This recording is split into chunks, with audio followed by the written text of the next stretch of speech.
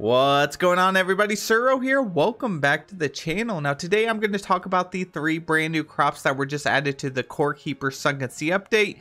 Please keep in mind this is not a video about how to get the most out of your crops or the best farmers build or anything like that. We are simply just taking a small peek at the three new crops. Now up first we have this crop right here which looks like a wheat plant and it is actually the bloat oat.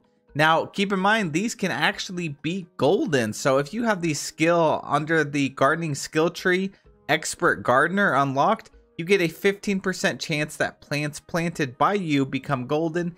And that skill does affect these three brand new crops. So we got some that are golden and some that are not. Up next, we have the papaya seed, or actually it's the pewpaya. And it kind of just looks like a pineapple to me we got some golden ones here and then we have the normal ones here. And then over here we have the pinegrapple i believe it's called. Yeah pinegrapple. It kind of just looks like a fist holding on a a weed but it's it's interesting to say the least. It has its golden form over here and then we have the normal one over here. Now let's take a look at these plants real quick. The pewpaya base is 12 food 6.3 health every 20 seconds we got the Bloat Oat, which is 28 food, and the uh, Pinegrapple, which is 12 food and 5.4 health every second. Now, I'm going to show you exactly where you can get these. Two of them are in the same place, and then the uh, Bloat Oat is in its own area. So, to get the other two, we're going to head up to the Sunken Sea biome. Pretty much any island is going to work for you. Now, while we're teleporting up there, if you guys wouldn't mind hitting that like button, subscribe to the channel, it would really help me out. So if you get up to pretty much any island up here in the sunken sea biome, I mean, there's just islands all over the place. You're going to see these plants here. You can just use your open fist and harvest them.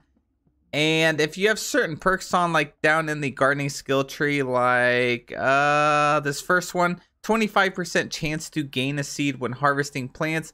That works for this.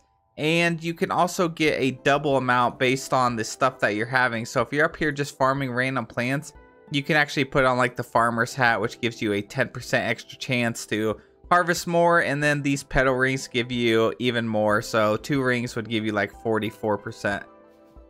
Now over here, we have the pinegrapple or the pewpaya. I mean, I'm getting them mixed up because the pinegrapple should have been named the pewpaya one because the pewpaya looks like a pineapple to me.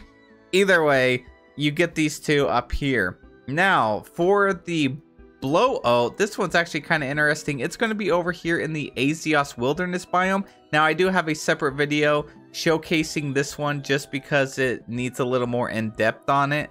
But you can get it over here in this Azio biome. Just go up to any of these yellow plants that you see right here, whack them with the sword or your hand or whatever, and you will eventually get some of the seeds to drop for it. So let's try to hit this one here. And we just got one right here. Bloat oat seeds.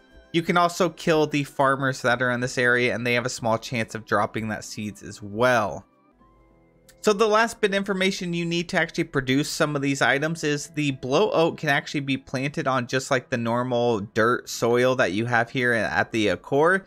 And the other two plants can only be planted on the beach sand ground and you can dig that up literally all of this, all these islands, just bring your shovel up there and dig up some of the ground and this will give you the ground that you need to plant these on. You cannot plant these on sand or dirt or anything like that. It has to be the beach sand ground.